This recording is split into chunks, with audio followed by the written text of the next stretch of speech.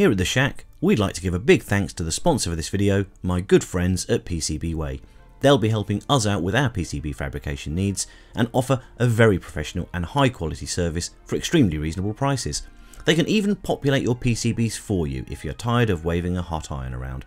There's a link to their website in the description where you can check out all of the amazing services they offer. Now, back to the show.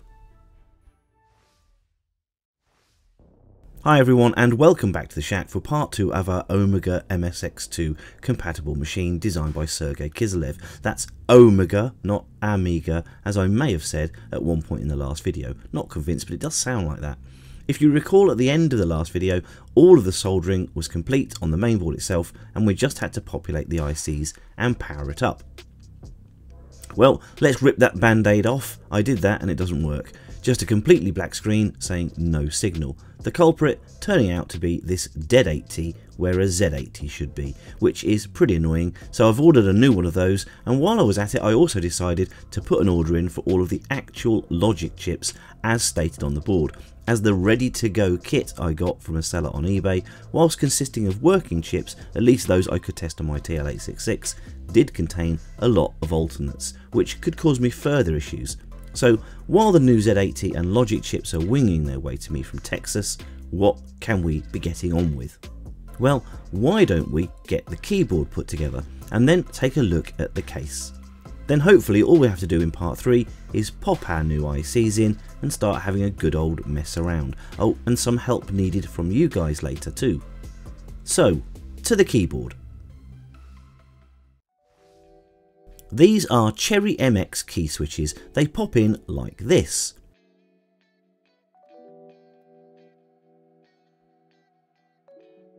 Have two solder joints on the back and then repeat 72 more times. A couple of chips and caps, a few resistors and a few diodes later and you have this all ready for the keycaps to go on. There are two special key switches here, the cap shift and the function key. These are illuminated switches and were quite hard to come by, so thanks to Sam Jewell for sending these in along with some resistors, much appreciated. Many thanks also to Jeffrey Burrell, who supplied some of the crystal resonators for the board. Really very generous and very much appreciated too. So with all of this soldering done, let's pop our keycaps on. We've got three different sets of keycaps as I wanted to get a real retro feel and a lot of the older machines had multiple colours on their keyboards. Think Commodore 64, BBC Micro, Amstrad CPC etc. I'm thinking white keys for the main alphanumerics, orange for the function keys and some accents, and grey for the others. So let's get to it and see how it looks.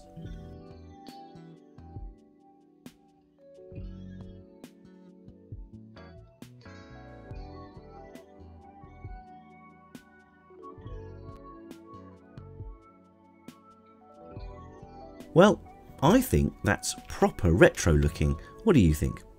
And of course, I've got enough keys left over to make another couple of these in different versions if I fancy a change at some point. Let's turn our attention to the case, which I found on Thingiverse. There's a link in the description. This was designed by Javier Abadia, which again I apologise if I'm mispronouncing, who according to his Thingiverse page is also located on Melee Island. I wonder if he knows Guybrush.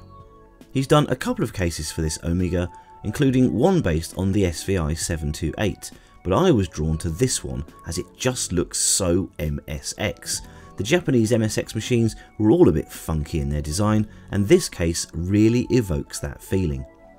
PCBWay again helped with this by 3D printing it for me and as you may expect their results far outstrip anything I could have produced at home. It really does look and more importantly feel like a properly manufactured part.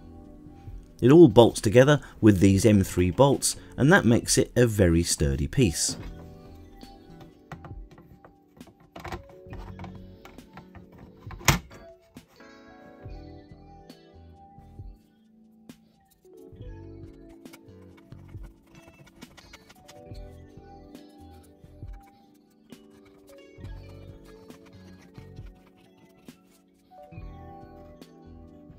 I also printed this keyboard support piece as well as the cartridge trapdoors and I'll probably try and find or design a plastic surround for the cartridge ports too so we don't get bits falling through here onto the mainboard when we put cartridges in and out.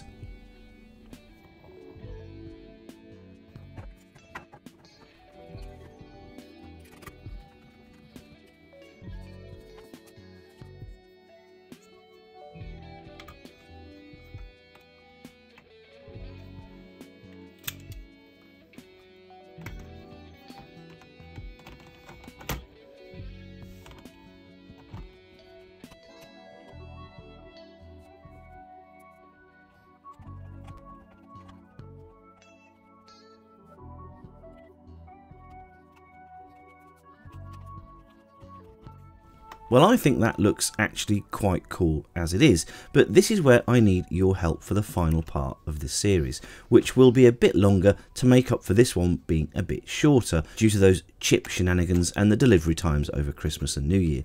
I need to know what colour I should paint this case to go with the new keyboard.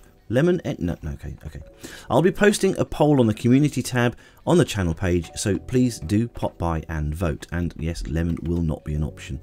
So that's where we'll leave it for this episode and apologies again that we didn't get as far as I'd hoped over Christmas. What with the setbacks and me getting more than a little merry, the shack took a back seat and I'm sure you'll forgive me that. I hope you've enjoyed the video anyway, if so please like and subscribe to the channel and hit the bell for notifications of new content. Please leave your comments below as we do read every single one of them and until next time in the shack, it's goodbye from me.